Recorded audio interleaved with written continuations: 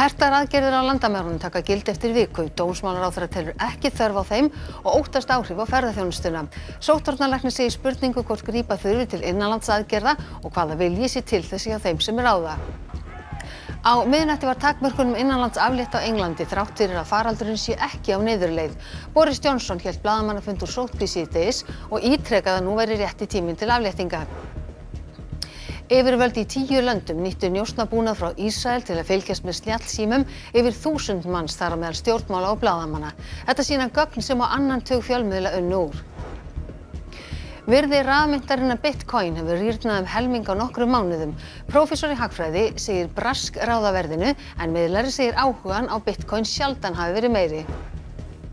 Erlendir ferðamenn koma á ný í hvalaskoðun og aðsóknin hefur aukist jafnt og þétt síðustu vikur. Þessi vænst að ágúst og september verði enn betri.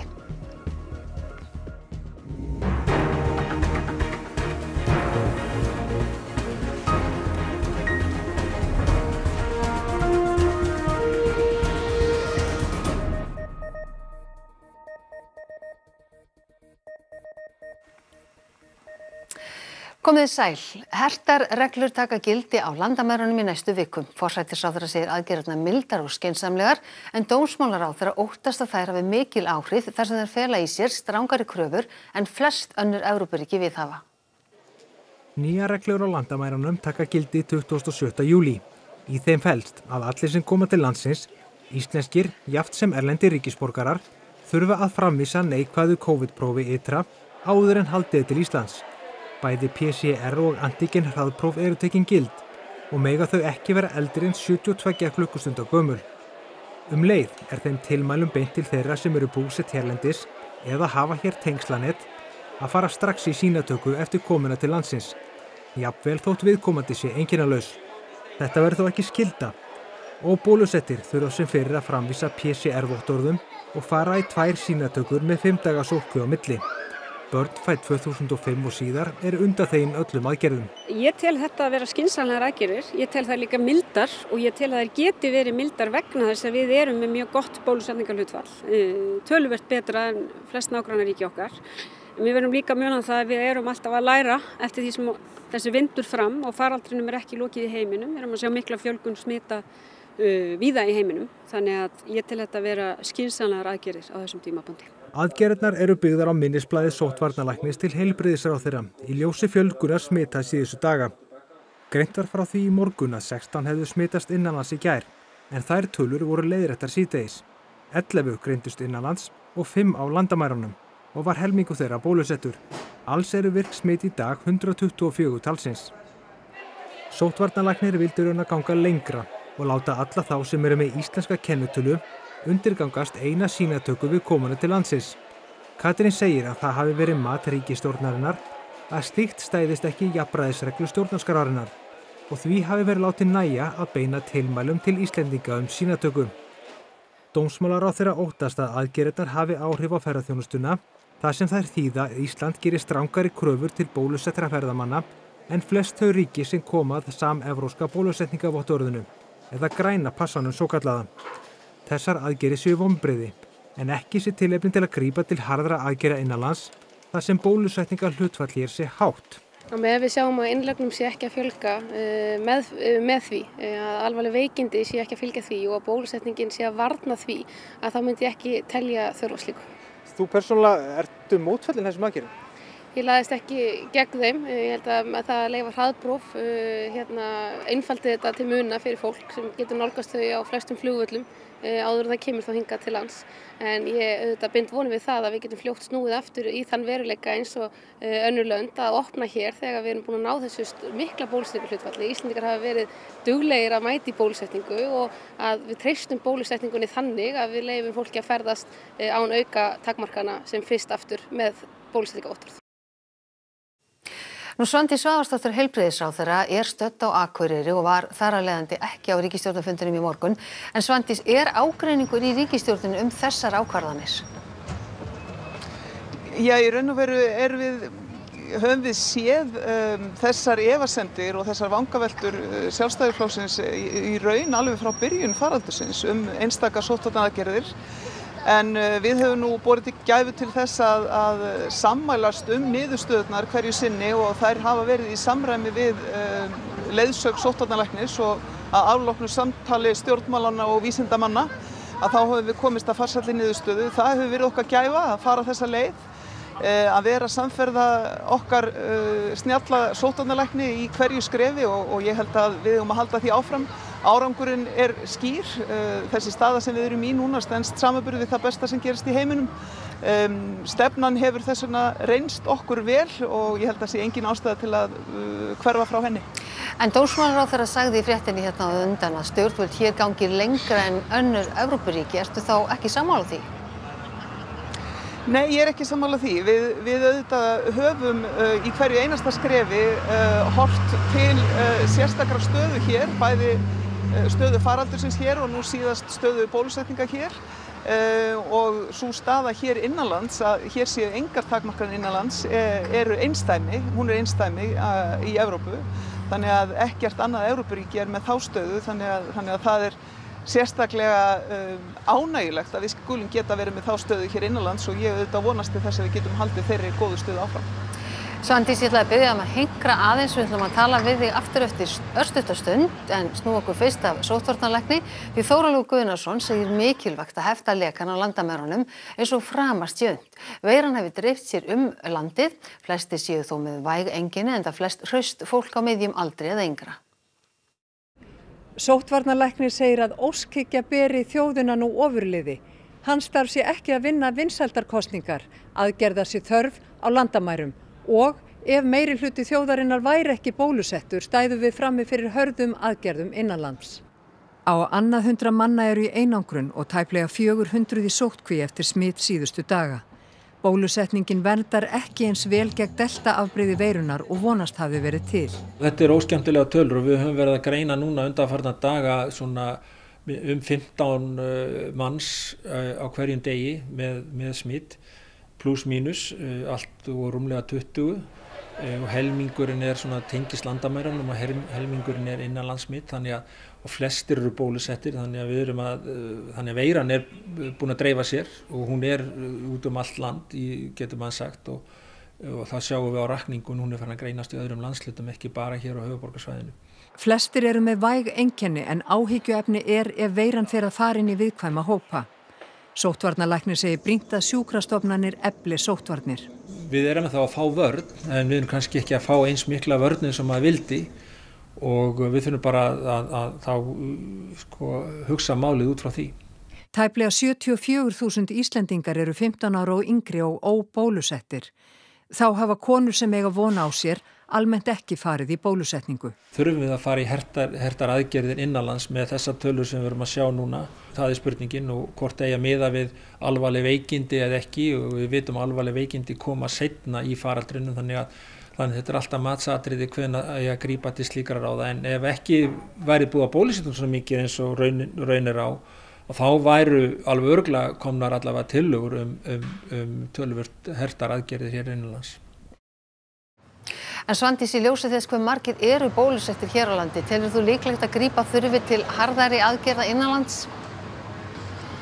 Já, ég hef nú lært það á þessari leið, þessari löngu leið, þessum 16 mánuðum sem eru nú að baki að Ehm, það er ekki mikill fyrirsjónleiki í því en hins vegar þá sjáum við það að, að það eru blikur á lofti og við þurfum að vera tilbúin til þess að uh, meta og endurmeta bæði fórsendurnar og, og ákvarðaninnar uh, en ég auðvitað vonast til þess að þessar ákvarðanir sem við erum að taka á gangi gildi í næstu viku að það er dugi til þess að stemma stígu við uh, þessu, þessari aukningu smita hér innanlands. Og kannski beinu fram alltaf þessu það er stutt í Vestlunumannahelgina og þá fara fram fjölmennar út í hátíðir Telur þú líklegt á þessu stíi að það verði af þeim? Já, eins og ég segi, það er ekki tímabært að, að taka neinar ákvarðinu um það en við vitum hvað við erum með í höndunum, við kunnum uh, á þessar ástafanir og, og við vitum hvað það er sem getur gerst en við vitum líka og kunnum líka að, að hafa okkur í kringum COVID-19 uh, þannig ég vil bara hvetja okkur öll til þess að gæta að fjarlæð gætað sprittun og handþotti og gætað umgengni við okkar viðkvæmasta fólk. Við kunnum þetta, við hefum gert þetta áður. Uh, með því að snúa bökum saman og, og standa saman í gegnum þetta þá, þá höldum við áfram að, uh, vera í farabróti þeirra þjóða sem að ráða hvað best við uh, glímuna við þennan faraldur. Svandi Sváhansdóttir, helbriðisráþara á Akureyri, takk kærlega fyrir þetta. Og við ætlum þá að fara til Englands. Á miðnætti var öllum takmörkunum aflétt innanlands á Englandi þrátt fyrir viðvaranir vísindafólks. Boris Johnson forsætisáþra hjælt blaðamannafund úr sótkví og stendur fast á því að nú sé rétti tíminn til að veita fólki frelsi á ný.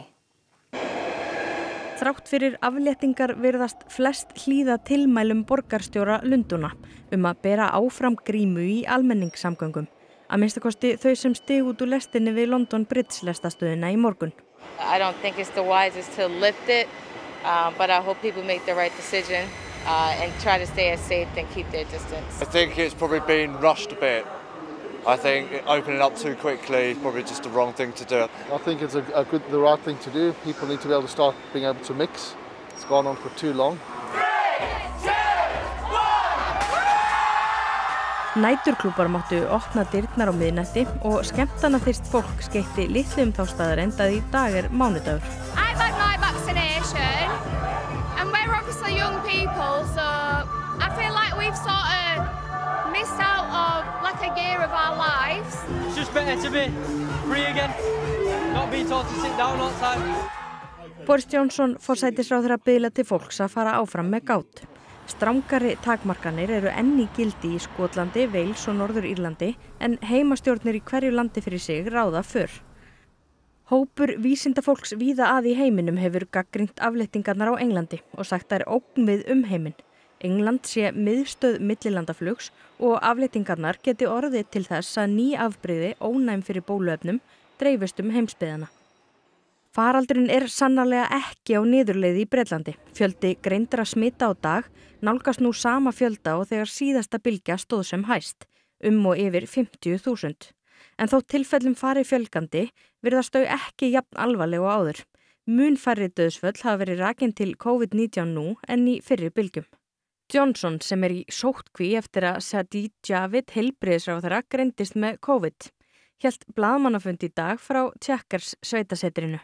There comes a point after so many have been vaccinated when further restrictions no longer prevent hospitalizations and deaths, but simply delay the inevitable.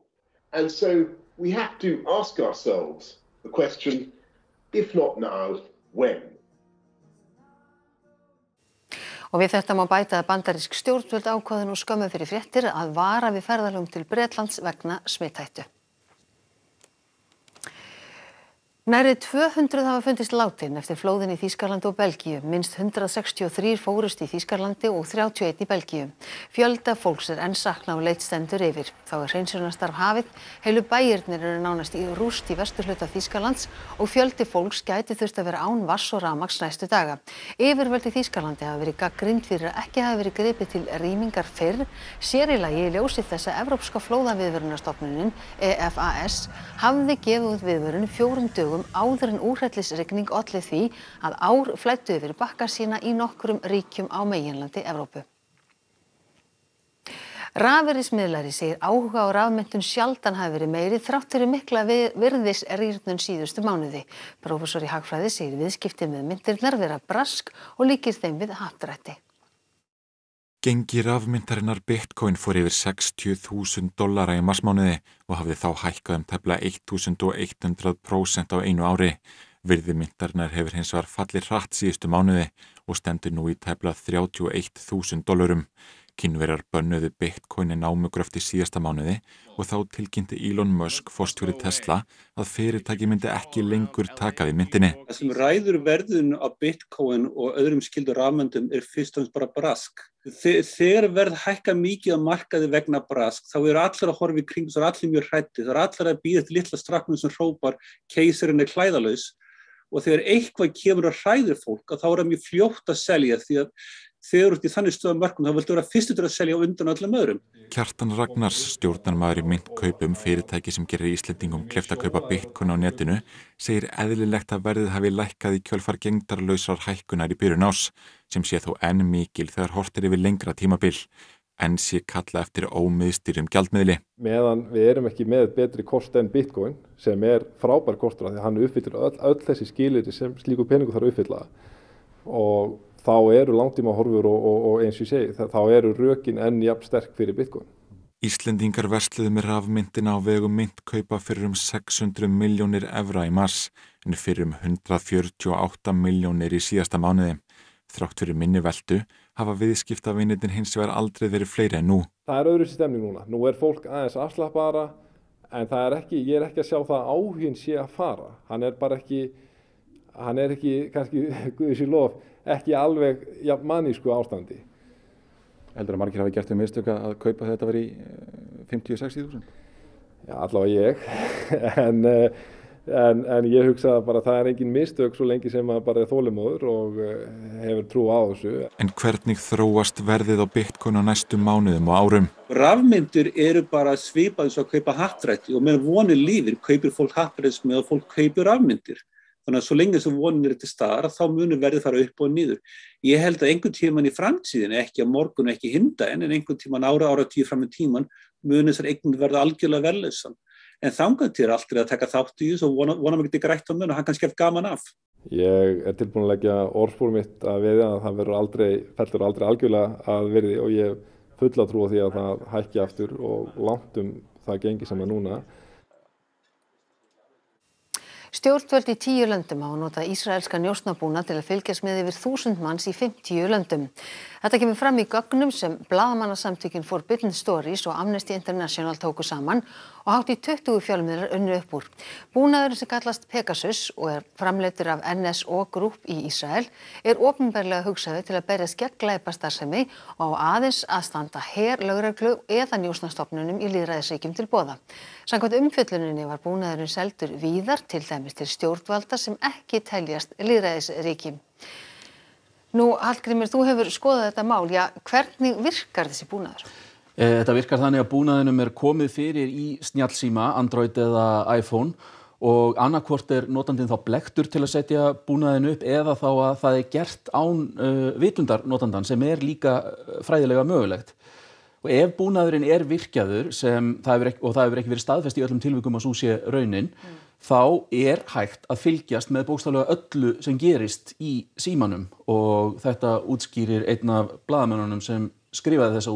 Er. Il peut savoir euh, quelles sont vos photographies, il peut avoir accès à vos messages, il peut avoir accès à vos messageries cryptées. On croit que quand on est sur Signal ou sur WhatsApp, euh, on est euh, plus vulnérable. Pas du tout. Je veux dire, ce logiciel peut voir ce que vous voyez sur votre téléphone.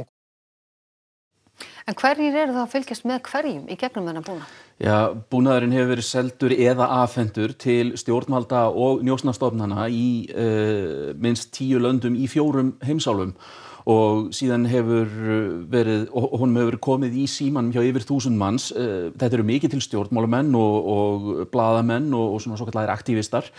Uh, og meðal annars var fylst með unnustu bladamannsins Jamal Khashoggis uh, í nokkra daga eftir að hann var uh, drepinn eftirminnilega í sendiráði Sáti Arabíu í Istanbul fyrir þreymur árum.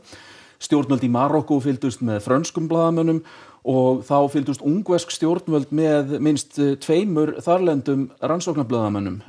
Ungvesk stjórnvöld hafa náttúrulega verið gaggrín fyrir slagt líðræði en öðrum bladamönnum var verulega bröðið við þetta. Mm -hmm. That's the worst part. I mean, uh, I guess I did everything I could uh, to, to protect my sources, and now I just don't know what exactly was accessed. En hver hafa viðbröðin verið? Já, þessi ísraelski framleiðandi búnaðarins NSO Group neytar að hafa gert nokkuð ránt og það sama á við um stjórnvöld í bæði Marokko og Ungverjalandi. Evrópusamöndið hefur hins vegar brúðist hart við og segja að ef þetta reynist rétt sé þetta brota á, á reglum sambandsins um fjölmiðlafrelsi mm. og þá hafa fransk stjórnvöld uh, bóðað aðgerðir. Ja. Ces révélations euh, à l'occasion de l'enquête qui a été euh, publiée par euh, vos confrères, évidemment, c'est des faits extrêmement choquants et qui, s'ils sont avérés, sont extrêmement graves. Il va y avoir évidemment des enquêtes, des éclaircissements qui vont être demandés. Ce que je relève Þó aðsókn í hvalaskoðun á Norðurlandi hafi aukist jafnt og þétt undanfarnar vikur vantar enn talsvert upp á að hún jafnist á við það sem var fyrir faraldurs. Á Húsavík binda menn vonir við góðar bókanir í ágúst og í september. Sárafáar bókanir voru í kvalarskoðin í byrjun sumars og því byrjuðu fyrirtækin bæða hægar og setna en áður. En síðustu vikur hafa verið góðar. Ef ekki að segja að sé búið að vera góður stígandi. Þetta byrjaði ekki með neinu látum og bókuna fyrir var eina að styttast hjá fólki vegna ástandsins. Við fengið frábært viður hérna á Húsæk og, og Húsæk hefur bara íðað miklu mannlífi og, og við hefum ekki að njóta þess líka. Fyrirtæki í kvalarskoðun þurftu að draga verulega úr allri starfsemi í faraldrinum og hafa farið varlega af stað. Ráðið færra fólk til starfa og fara enn sem komið er færri ferðir en áður. Farþegarnir eru engu að síður ánæðir. The tour was great and uh, we saw many whales and especially mink whales. So it was an excellent tour. It was good. Yeah. We saw two whales. Mm. It was a humpback and a minke whale. Mm -hmm. Yes. Have you seen whales before? No, I've never seen whales before and I think it was pretty amazing because they went really close up to the boat so it was very nice. Erlendir ferðamenn eru í miklu meiri hluta. Þetta er svona stærstum hluta bandaríkjaman en svo hafa Evropabúa líka verið að aukast undanfarið. Og þeir eru vongóðið með framaldið ef ekki kemur frekara bakslag. Þá höfum við miklar væntingar til þessi ágúst verið að vel ennþá betri og september geti komið sterkur af því að það eru margar þjóðir ennþá sem eiga eftir að fara í ferðalög. Og þá að veðri, það fer að bæta í vestanáttina þegar líður á nóttina og á morgun verður vestan og suðvestan átt góla eða kaldi en stinningskaldi eða allkvast norðvestan til. Skíjað og sumstaðar dálítil súld vestanlands en annars bjart með köplum. Hiti verður á bylunu 10 til 24 stig en það er Sigurði Jónsson viðfræðingur sem fyrir nánar yfir veðrið að loknum íþróttum sem Kristjana Arnarsdóttir sérum í kvöld. 13. umferð úrvalstildar Karla í fótbolta líkur í kvöld. Kára og Breiðablík áttust við í topparóttunni í frostaskjóli í gær. Ólimpíuleikarnir í Tókjó hefjast eftir fjóra daga. Bandarísk fimmleikakona greindist smituð af COVID-19 í dag. Og Colin Morikawa er í skíunum eftir sigurinn og opna breska reysamótin í golfi í gær. Reysakvillar hans eru nú orðnir tveir á tveimur árum. Þá ættum við að reyfi pelstu fréttir kvöldsins. Hertar aðgerðir á landamærunum taka gildi eftir vikum. Dómsmálaráþurra telur ekki þörf á þeim og óttast áhrifin á ferðarþjónustuna. Heilbreyðisráþurra segir efasendir sjálfstæðismanna um sótvarna aðgerðir ekki nýjar af nálinni. Á miðnætti var takmörkunum innanlands aflétt á Englandi þrátt fyrir að faraldurinn sé ekki á niðurleið. Boris Johnson held blaðamannafund úr sótkví síðdegis og ítrekað að nú væri rétti tíminn til afléttinga. Yfirvöld í tíu löndum nýttu njósnabúnað frá Ísrael til að fylgjast með snjallsímum yfir þúsund manns, þar á meðal stjórnmála og blaðamanna. Þetta sína gögn sem á annan tug fjölmiðla unn úr. Verðið rafmyndarinnar Bitcoin hefur rýrnað um helming á nokkrum mánuðum. Professor í Hagfræði í brask ráðaverðinu en miðlæri segir áhugan á Bitcoin sjaldan hafa verið meiri. Þessum fréttatíma er lokið og það er komið að íþróttum og veðri. Nýjastu fréttir má alltaf nálgast en á rú.is en næstu fréttatímar er í útarp og sjónvarpur klukkan 10 í kvöld. Við sjáumst þá, verið sælað sinni.